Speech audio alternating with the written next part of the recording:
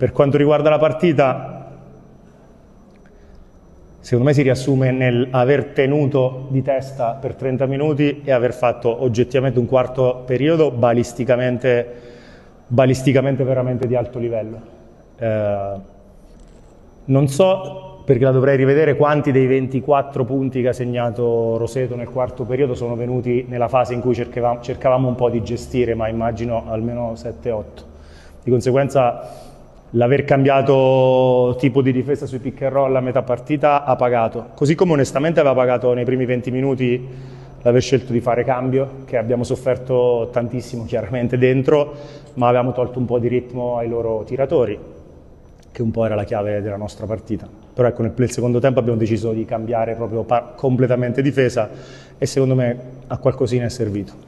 A mio avviso paghiamo le tre partite in otto giorni, con le due trasferte, la seconda era giovedì, rispetto a tutti gli altri che hanno giocato mercoledì.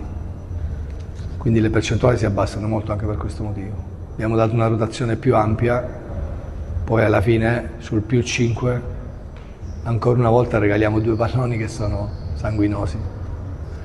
E la partita gira lì, con i nostri due regali che facciamo su palle perse. Per cui era una partita che potevamo vincere benissimo nonostante queste percentuali.